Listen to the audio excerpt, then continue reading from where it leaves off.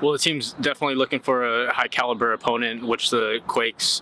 do bring. You know, a unique style of play, which is going to allow us to test ourselves against um, some of the best players in the United States. So it's fortunate that we have this relationship with the affiliation to be able to come out to San Jose and, and play against the Earthquakes.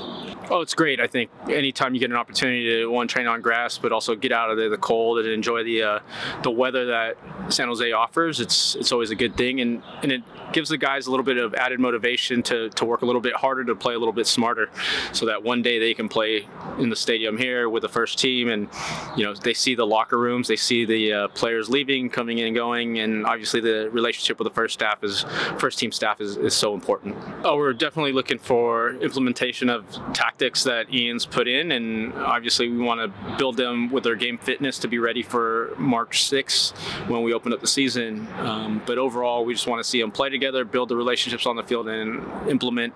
the tactics and that Ian's uh, wanted the guys to perform.